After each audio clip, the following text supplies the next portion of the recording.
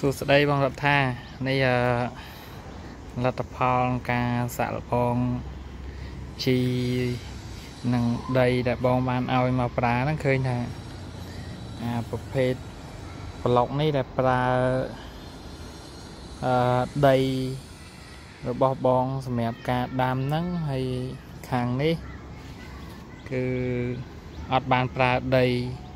ជីវិតនឹងទេឃើញលទ្ធផលពីរហ្នឹងគឺខុសគ្នា អឺច្រើនមែនតើដូចឃើញក្នុងវីដេអូហ្នឹងអឺស្រាប់ហើយហើយស្ពៃហ្នឹងបានលួសដកហូបខ្លះផងនៅខាងនេះហើយវានៅតែល្អសម្រាប់ខាងនេះអត់មានបានតន់បានដកប្រមូលផលអីទេវាអត់សូវល្អបាទ